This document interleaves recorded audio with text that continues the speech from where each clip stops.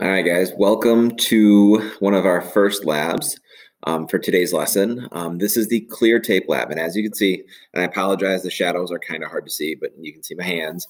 Um, you can see the tape here, and what I'm going to be doing is I'm going to be walking you through the lab.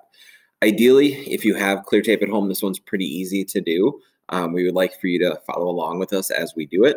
If you don't, you can watch the video and answer the questions below. Um, the first thing you're going to need is some clear tape. Okay, so make sure you're not using masking tape. You're just using what I think we know as scotch tape. And what you want to do is you want to get a piece that's somewhere between two to three inches long. And then what you're going to do is you're going to kind of fold the top part over. I'm going to try to show you as much as I can. It's hard to see with clear tape.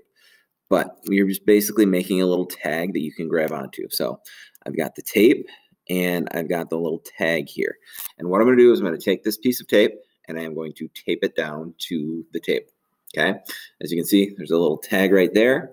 Okay, next thing is I'm going to do the exact same thing with a second piece of tape. So I've got my second piece of tape. I am going to do the exact same thing. I'm going to fold over the little flag. So I have a tag end. And again, I am going to place it on the table. Okay. Now here's the fun part. It's the part that everybody likes to do. And so I'm trying to do it so you guys can see it. All right. So right here's my two little tag ends. On step three, it says carefully peel back both pieces of tape off and hold them close together. Okay. Underneath that is your guys' two questions. Okay. So your two questions are Did they repel or retract each other? And I want you to explain why. And finally, if you get them close to any other object. So after this, I have a couple other objects and I want to see what's going to happen to them. So what I'm going to do is I'm going to slowly peel them and I am going to hold them up and I and I'm going to hold them next to each other and I want you to see what happens. Okay, it's kind of hard to see, but they're getting close. Ooh, let's move over this way. They're getting close, they're getting close, they're getting close. And as soon as they get close, what's happening? Are they repelling or are they getting attracted to each other? What does that look like they're doing? Okay. All right. I know it's not great to see, but it's better. So I'm going to try it again. Put them down.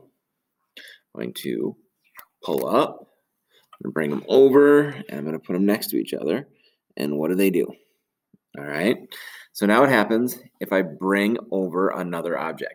Let's say I have this box of tissues. So I come over, I'm coming over, the tape, it's kind of hard to see. Oh, what's it doing? It is Uh, sorry, trying to get in the light. There we go. Is it attracting or repelling?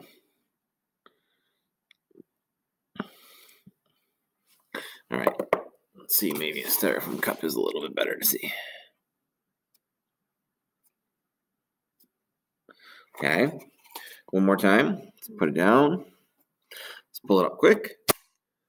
Now, if I move it towards an object, ooh, what happened there?